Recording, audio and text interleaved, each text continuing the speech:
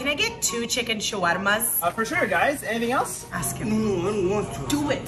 Was there anything else, guys? So what does come on a chicken shawarma? Yeah, so we put uh, garlic, pickles, parsley, tomatoes, uh, tahini sauce, and habanero sauce. Tomatoes? Are you kidding me? Uh, sorry, sorry. She means no disrespect. Oh no, I do. Who puts tomatoes on a chicken shawarma? That's a disgrace. Miss, you know you can get the chicken shawarma without tomatoes, right? Now I want tomatoes.